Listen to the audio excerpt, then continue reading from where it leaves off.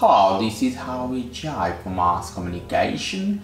I'm again with another video in this video I'm to show you how you can use your back or Apple logo as a button.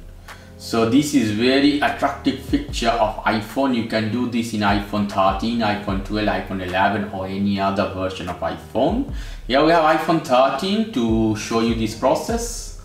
So let me show you. For this, you have to go to setting option. Here we go. In setting, you have to find this option. It's called accessibility. In accessibility, go inside. Hit touching option. You see touch here. Hit this one. At the touch, you have to go to the bottom. It's a back tap. Hit this one back tap. You see double tap and triple tap so I hit this one in double tap. I hit camera option okay. Fine and uh, I hit back and in triple tap I can hit screenshot okay. Let's see. Back here I close all. Let me tap two times from the back.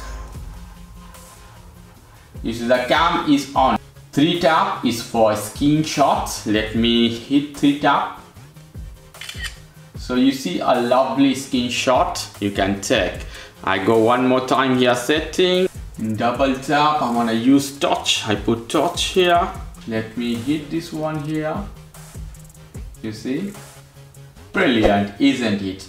So this is how you can use your Apple logo or back of your iPhone as a button okay guys if you like this video please do subscribe to my channel. If you like this segment please give me a thumbs up. As always for more information go to the Aires communication www.airescommunication.com have a lovely evening. Take care. Till then boy